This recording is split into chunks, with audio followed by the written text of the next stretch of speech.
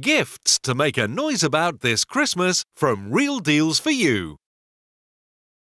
CH Hanson make a whole range of products. This is a CH Hanson Carpenter's Pencil. What's unique about this particular pencil is the lead.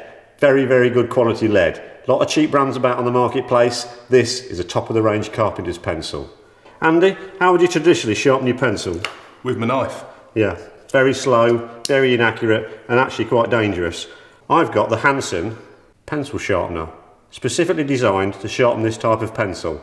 And I'm going to give you a race just to show how quick this is, and also the finish that you get with it. Okay, on your marks, get set, go. go. Ahead.